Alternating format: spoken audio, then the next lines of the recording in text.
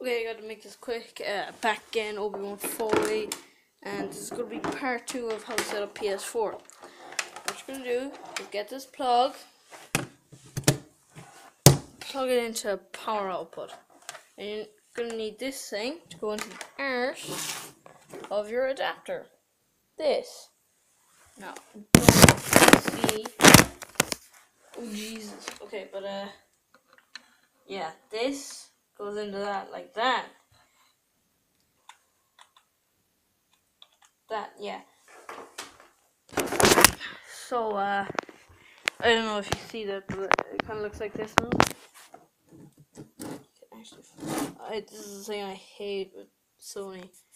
They use adapters and those things. It's like, do you have to? And it falls out every two seconds of life.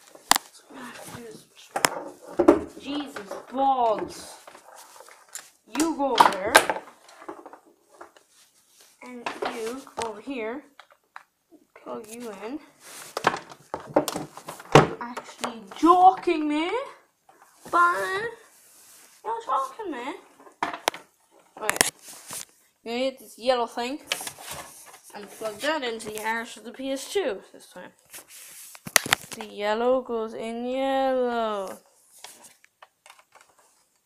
I know it might be great, but I have to rush because I don't have any space. It might be the end of the YouTube channel. Okay, you're gonna get